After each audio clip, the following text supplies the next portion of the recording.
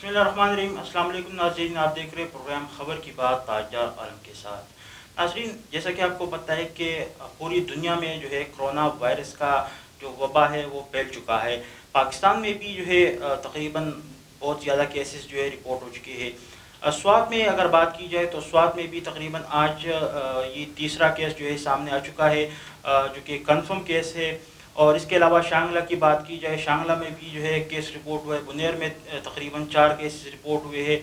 तो इस हवाले से आज हम बात करेंगे। इस वक्त हमारे साथ स्टूडियोज़ में मौजूद थे इंजीनियर शराफत अली खान साहब जो कि सोशल वर्कर भी है और इसके अलावा एजुकेशन से भी इनका ताल्लुक़ है। पी एस एम ए के सदर है तहसीली बरीकोट के।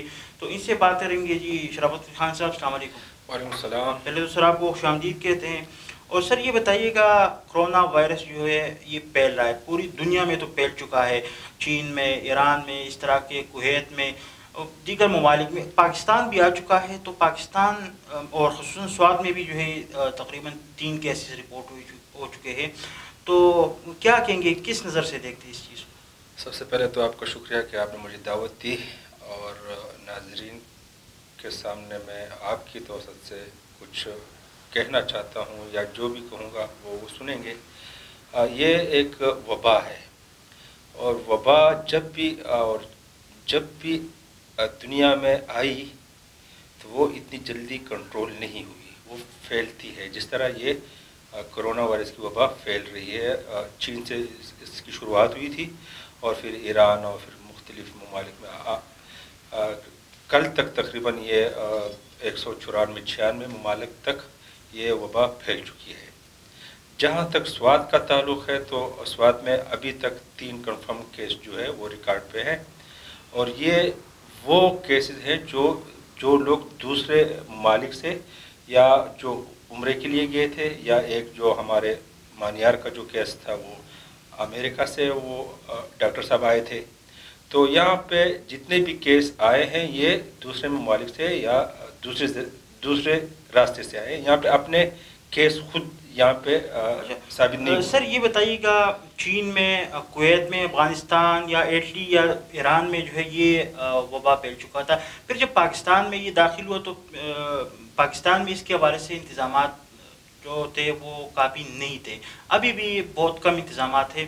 स्वाद की तरफ़ आते स्वाद में जब ये लॉकडाउन का अमल शुरू हुआ तो यहाँ पर जो लांडा के चेक पोस्ट है, वहाँ पर किस तरह की जो स्क्रीनिंग वगैरह थी या जो दीगर इंतज़ाम थे इवन डॉक्टर्स जो खड़े हुए थे, उनके पास ग्लव्स भी नहीं थे। फिर मीडिया ने उस इशू को उठाया उनको अभी जो है वो हालात दिए गए, ठीक है? तो स्वाद में अभी जो सूरत हाल है बाज़ार जो है बंद है, थोड़ी देर के लिए बाज़ारें खुल जाती है। लेकिन क्या कहेंगे, राशन के हवाले से हुकूमत क्या करी और जो सोशल वर्कर है उन्होंने किस हद तक इस चीज़ को जो है आगे लेके गए? अल्लाह खैर करे हम अल्लाह से खैर की उम्मीद रखेंगे। जहाँ तक लॉकडाउन का आप बता रहे हैं आज आप देखें तमाम कारोबार तमाम कारोबार बंद हो चुके हैं। पाकिस्तान में पूरी पूरी दुनिया में। हम तो एक गरीब मुल्क से हमारा ताल्लुक़ है। ये और बात है कि जो हुकूमत चलाने वाले हैं वो अमीर हैं वो गरीब नहीं है मगर वो कहते हैं कि हुकूमत गरीब है। ठीक। जब तक हम आज से चौदह सौ साल पहले हजूर अक्रम सल्लल्लाहु अलैहि वसल्लम ने जो कहा था जो हदीस है कि जहाँ भी जिस इलाके में भी ये वबा आए उस इलाके से ना किसी को बाहर जाना चाहिए ना उस इलाके में किसी को अंदर आना चाहिए। हमने उस पर अमल नहीं किया। चीन चीन ने देखें चीन चीन के जिस शहर में वबा आई थी वह हमारे तालब इलम थे हमारे बच्चे थे वहाँ। इसके अलावा पूरी दुनिया के वहाँ स्टूडेंट थे मगर उन्होंने किसी को भी उनके ममालिक नहीं भेजा। अच्छा इंजीनियर साहब ये बताइएगा कल में आ रहा था स्वाद में हम रिपोर्टिंग के लिए इधर घूम रहे थे। तो एक गाड़ी जो कि गेमन चेक पोस्ट पर। मैं अभी वीडियो भी चलाऊँगा प्रोग्राम में। तो उस गाड़ी में एक टोयोटा गाड़ी थी करोला उसमें नौ बंदे इस्लामाबाद से आ रहे थे। तो इस हवाले से क्या कहेंगे? हुकूमत एक तरफ़ कह रही है कि भाई जान आप घरों में रहे, आप जो है बाहर ना निकले। गाड़ी में अगर आपने जाने किसी जगह के लिए, कुछ काम के लिए तो एक या दो बंदे जाए। तो इस हवाले से क्या कहेंगे? मैंने पहले अर्ज़ किया ना कि ये हल नहीं है। हल ये है कि हम अपने सूबे अपने पूरे पाकिस्तान को लॉकडाउन होना चाहिए। अगर आज ईरान का बॉर्डर लॉकडाउन होता, या ईरान में जो ज़ायरीन गए हुए थे ज़ियारत के लिए, उनको ग्वादर में या कराची के लसबेला में एक अस्पताल खाली करके उसको वहाँ रखा जाता, वो मुख्तलिफ़ अपने इलाकों पर ना जाते तो आज पाकिस्तान की ये पोजीशन ना होती जो आज है। इसी तरह लांडाकी की बात आपने की, यहाँ से फैसलाबाद से लाहौर से बसें आती हैं। पैसेंजर को उतार के बसें वापस चली जाती हैं, मगर वो वो पैसेंजर, वो पैदल बारह बारह किलोमीटर पंद्रह पंद्रह किलोमीटर पैदल वो जाते हैं। फ़र्ज़ करें उसमें से अगर एक भी इस वबाई मर्ज़ का मरीज़ हो, वो अगर लांडाके से मिंगौर तक पैदल जाता है, अगर वो किसी दुकान पे खड़ा होके कोई चीज़ लेता है रोटी लेता है फ्रूट लेता है तो ये तो फैलता जाएगा। सर तो इसका हल क्या है? आपके पास कोई हल है? हल ये है कि लॉकडाउन बिल्कुल लॉकडाउन तो हो रही है ना। सूबों के दरमियान लॉकडाउन होना चाहिए। महमूद खान को चाहिए था कि वो बिल्कुल अपने बॉर्डर सील कर देते लॉकडाउन कर देते। ये लॉकडाउन तो नहीं है लोग तो आ रहे हैं। लॉकडाउन ये तो नहीं है कि सिर्फ़ आप दुकानें बंद कर दें आप कारोबार बंद कर दें। और लोग आते जाएँ दूसरे शहरों से। यहाँ पे खुद तो मरीज़ यहाँ नहीं है, दूसरे दूसरे शहरों से दूसरे ममालिक से यहाँ आए हैं। अगर ये इन लोगों को यहाँ ना छोड़ा जाता पाकिस्तान में और सूबों में तो आज ये पोजीशन ना होती। तेरह सौ से ऊपर पोजीशन जा चुकी है हमारी। और ये दिन ब दिन ये ये तादाद बढ़ती जाएगी। मैंने कहा ना, ये वबा है, ये इतनी आसानी से कंट्रोल होने वाली वबा नहीं है। वबा जब भी आती है वो तबाही मचा के जाती है अल्लाह खैर करे ठीक है सर शुक्रिया इंजीनियर साहब से और भी बातें करेंगे एजुकेशन के हवाले से मैं आपको एक वीडियो दिखाता हूँ कि एक गाड़ी में नौ बंदे सवार हुए ये वीडियो आप देख लें फिर वापस आके बात करते हैं इनसे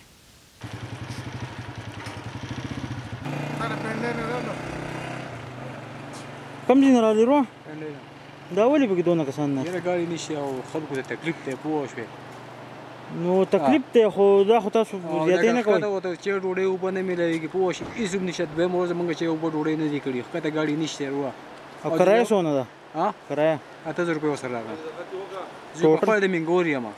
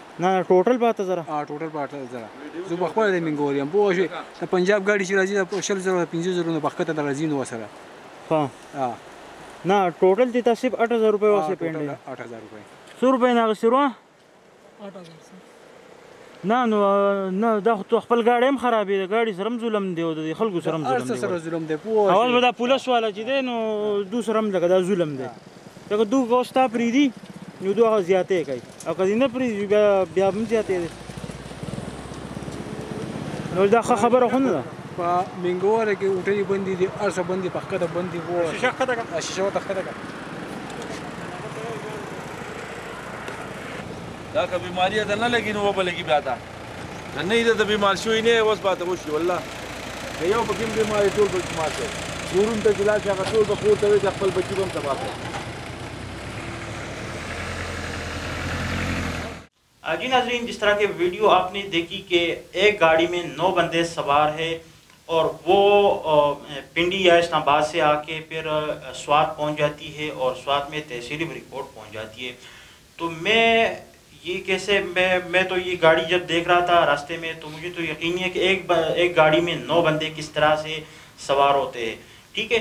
फिर ये गाड़ी आई किस तरह से? इंजीनियर साहब, इस हवाले से क्या कहेंगे आप? मैंने तो पहले भी अर्ज़ किया है कि यहाँ पे जो चेक पोस्टें हैं जिस गाड़ी की आप बात कर रहे हैं, वो भी किसी चेक पोस्ट से गुजरी होगी ना, वहाँ भी अमला होगा ना? क्यों छोड़िए? पूछना चाहिए। इंतज़ामिया को पूछना चाहिए। क्यों ऐसा हुआ? अच्छा सर ये बताइएगा पी एस एम के हवाले से स्कूलों की क्या सूरत हाल है? स्कूलें तो अभी बंद है। क्या आपकी लायामल क्या है आइंदा? जहाँ तक ये तो हुकूमत की पॉलिसी है हुकूमत ने नोटिफिकेशन जारी किया है। पहले पाँच अप्रैल तक था फिर एक्सटेंड हुआ। अभी इकतीस मई तक कह रहे हैं कि स्कूल बंद रहेंगे। और मुझे तो ऐसे लग रहा है कि ये इकतीस मई से भी आगे। आगे ये तारीख जाएगी तो सर होगा क्या इन बच्चों का? ठीक है एक वबा है वो तो अपनी जगह लेकिन वालिदैन को क्या करना चाहिए इस हवाले से? वालदेन को ये उनकी अभी जिम्मेवारी बहुत बढ़ गई है अपने बच्चों के हवाले से। उनको चाहिए कि वो एक टाइम टेबल बनाए अपने बच्चों के लिए। सुबह नमाज़ के लिए बच्चों को उठाए उसके बाद उनको तिलावत नाजिरा का बंदोबस्त करें। इसी तरह हर तीन घंटे बाद उनको कम अज़ कम एक घंटा या डेढ़ घंटा एक सब्जेक्ट के हवाले से उनको देना चाहिए। और जहाँ तक बाज़ लोग कहते हैं कि देखें पाकिस्तान में तकरीबन एक लाख बाईस हज़ार से ऊपर स्कूल हैं। इसी तरह उस स्कूलों में कितने इस होंगे। ऑनलाइन भी जो कि बाज़ यूनिवर्सिटी या स्कूल वगैरह जो ऑनलाइन भी लोगों को पढ़ाती है। है तो इस हवाले से कुछ हो सकता है ऑनलाइन तो जो यूनिवर्सिटी है उनके पास वो मतलब है हर एक बच्चे के पास लैपटॉप होते हैं उनके पास वो सहूलतें हैं। उनके पास वो सहूलतें होती हैं। हमारे बच्चों के पास लैपटॉप कहाँ है? हमारे बच्चे ऑनलाइन पढ़ेंगे कैसे? तो डेटा कैसा है? तो सर इसका हल क्या होगा इसके लिए? हल सिर्फ़ यही है कि वालदेन को ये जिम्मेवारी अभी वालदेन पे बहुत ज़्यादा आ रही है। वालदेन को चाहिए कि वो अपने बच्चों पे तोजह दे और टाइम टेबल किताबें तो उनके पास हैं। अपने बच्चों को खुद अपने सामने बिठाएँ और उन, उनको पढ़ाएँ। ठीक है सर बहुत शुक्रिया। सर आखिरी में आखिर आखिरी जो पैगाम क्या देना चाहेंगे लोग? मेरा पैगाम ये है कि हमारे प्राइवेट स्कूल जो थे वो तेरह तारीख तक खुले हुए थे। कुछ मतलब बाज़ स्कूलों में पचास साठ परसेंट फीसें जमा हो चुकी होंगी। तो मेरी तो तमाम स्कूल के जो सरबराहान हैं ऑनर्स हैं उनसे ये दरख्वास्त है कि जो इस हैं ये हम हमारे वजूद का हिस्सा है हमारे साथ पंद्रह साल से बीस साल से दस साल से ये हमारे साथ रहे हमारे फैमिली मेंबर की हैसियत रखते हैं। कम अज़ कम अ, मार्च की फ़ीस मार्च की फ़ीस इन इस के घर पे पहुँचाने चाहिए। मैं बजात ख़ुद खैबर एजुकेशन एकेडमी के डायरेक्टर की हैसियत से मैं एकम तारीख को अपने जितना भी मेरा मेरे मेरे स्टाफ थे मेरे इस थे जो उनको क्लास फोर थे, चौकीदार थे। एक हम तारीख को मैं घर घर जाकर उनको पूरी तनख्वाह इस मार्च की मैं दूँगा। दूसरी बात मैं जो डॉक्टर साहबान हैं, जो अस्पताल में जो नर्सें हैं, जो अस्पताल की जो स्टाफ है, उनको मैं सलूट करता हूँ। उनकी जो मेहनत है, उनकी जो कुर्बानी है, वो इन रहेगा नहीं जाएगी। वो फ्रंट लाइन पे लगे हुए हैं। बग़ैर वो उस सामान के जो इन, उनको ज़रूरत है वो उनके पास नहीं है मगर फिर भी वो अ, अ, लोगों की खिदमत कर रहे हैं। तो अ, दूसरी बात यह है कि रमज़ान भी आने वाला है। ये बिल्डिंग ये बैंक बैलेंस ये सब रह जाने वाली चीज़ें हैं। हमें चाहिए जो साहब हैसियत लोग हैं उनको चाहिए कि वो रमज़ान से पहले एक पैकेज बनाएँ और जो भी उनके महल्ले में उनके जो रिश्तेदार हैं जो उनके महल्ले में रहने वाले हैं जो गरीब हैं उनको उनके घर तक एक पैकेज जिसमें खुर्दनश की जो चीज़ें हैं उसके एक पैकेज बना के उनके दहलीज पे उनको दे आए। तो ये सब चीज़ें रह जाने वाली चीज़ें हैं ये किसी काम की नहीं। और एक बात मैं आपको बता दूँ ये हदीस है कि वबा बला जो है वो सबके से ख़त्म होती है। हो। सकता है आपके सदक़े से मेरे सदक़े से आप सब लोगों के सदक़े से ये वबा टल जाए। आप गरीबों में कुछ ना कुछ लाजमी तकसीम करें। ठीक है बहुत शुक्रिया सर। नाज़रीन जिस तरह के इंजीनियर साहब ने स्कूलों के हवाले से बात की कि इस को जो क्लास फोर वगैरह जितना भी स्टाफ है उनको मैं जो है इनका जो इदारा खैबर एजुकेशन अकेडमी वो जो अगला महीना है या जो ये महीने उसकी तनख्वाह जो इनको देंगे। और स्कूलों के भी इस तरह इकदाम करने चाहिए क्योंकि स्कूल तो बंद है इस नहीं निकल सकते, बच्चे भी नहीं निकल सकते, ठीक है? तो कम अज़ कम इस को इस महीने की अगर तनख्वाह मिल जाए तो उनका घर बार चल सकता है। मैं आपको अगर एहतियात की बात करूँ तो जो डॉक्टर हजरात कह रहे हैं कि अपने हाथ वगैरह धोए बीस सेकंड तक, और जो मास्क के हवाले से अगर मैं बात करूँ तो आम जो मास्क होते, जो सर्जिकल मास्क होते, इस हवाले से जो सर्जिकल मास्क होते, मेरे ख्याल में ये इतना वो इस चीज़ के लिए अच्छे नहीं होते, जिस तरह से एन नाइन्टी फाइव मास्क है या एन वन हंड्रेड है, या मेरे ख्याल में जो X three zero one mask है कोरोना वायरस के हवाले से, इस चीज़ के हवाले से ये बहुत बेहतरीन मास्क है इस चीज़ को कंट्रोल कर सकते हैं अगर, मगर बदकिस्मती के बायस अगर पाकिस्तान में देखा जाए तो इन चीज़ों की कीमत जो है काफ़ी ज़्यादा हो चुकी है। एन नाइन्टी फाइव मास्क की अगर बात करें तो ये तकरीबन आम दिनों में दो से ढाई सौ रुपये तक मिल जाती थी, लेकिन अब ये जो मास्क है, सिर्फ़ एन नाइन्टी फाइव की अगर मैं बात करूँ तो ये अभी तक मार्केट में पहले तो अवेलेबल नहीं है। अगर अवेलेबल भी है तो वो तकरीबन पाँच से छः सौ रुपये कोई चार सौ रुपये बेच रहा है। इस तरह की अगर ग्लव्स की बात करें तो ग्लव्स भी जो हाथ को पहनने वाले ग्लव्स है सर्जिकल उसकी अगर बात की जाए तो वो भी मार्केट में पहले तो अवेलेबल नहीं है। मैं खुद बजाते खुद मैं गया हुआ हूँ कई स्टोर्स पे तो मुझे नहीं मिले। ठीक है? अगर फिर मिल भी जाते तो आम दिनों में अगर उसकी जो कीमत है वो बीस रुपये या तीस रुपये है तो अभी ये, वो जो ग्लव्स है, वो तकरीबन सौ रुपये कोई डेढ़ सौ रुपये बेच रहा है, कोई अस्सी रुपये बेच रहा है। तो इस तरह की जो चीज़ें है, मेरे ख्याल में बहुत ही हमने मुनाफा कमा लिया है, बहुत ही हमने जो है पैसे इकट्ठे कर लिए अब इस चीज़ को जो है ख़त्म करें। लोगों में अगर फ्री नहीं तकसीम कर सकते तो कम से कम अपने जो पुराने रेट से उस पर जो है बेचे। अगले प्रोग्राम तक के लिए इजाज़त दीजिएगा, अल्लाह हाफिज़।